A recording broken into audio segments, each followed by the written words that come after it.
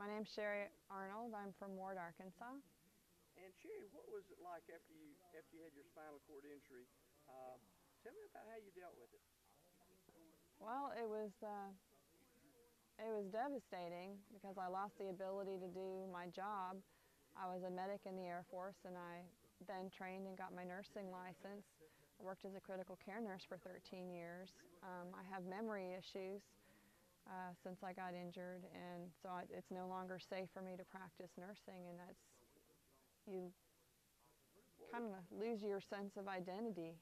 Yeah, what was it like when you found out you could no longer be a nurse? It crushed me. Why?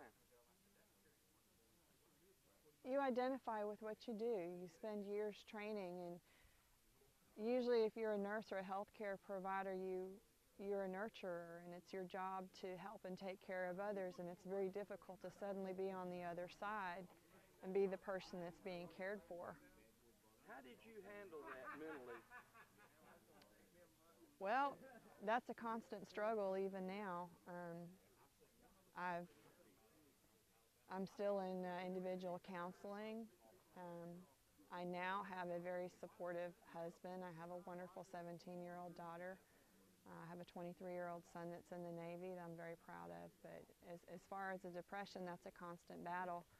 Um, you're constantly struggling with what you can do and what you can't do and trying to find the things you can do and do them better and not focus on the things that you no longer can do.